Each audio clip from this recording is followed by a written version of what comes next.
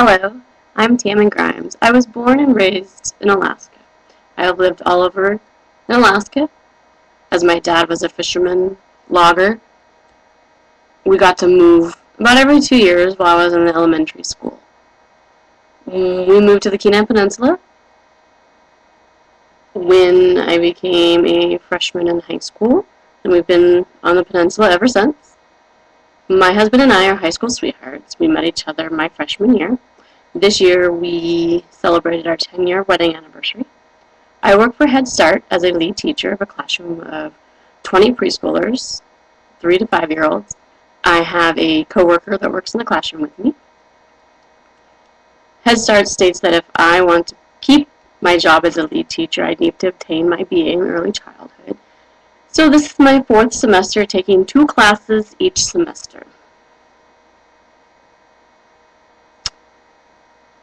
As I have a five-year-old that keeps me pretty busy. He will be going to kindergarten this fall. I have always loved working with children as this is my fourth year with Head Start. I also enjoy riding motorcycles with my husband, going on car trips with my family, beachcombing. I have a brother and a sister-in-law, have two little boys, 10 and 7. We spend a lot of time together as a family.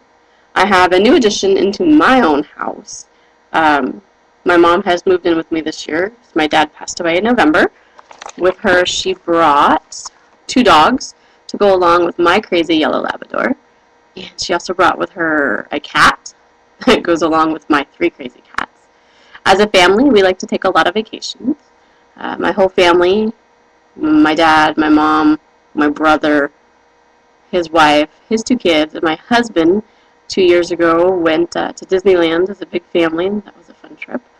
And then again in December, my in-laws took my husband and I and my son, so my son could turn five in Disneyland as he's a New Year's baby. I also like taking pictures of family and the great outdoors in Alaska. So that's kind of a little introduction to myself.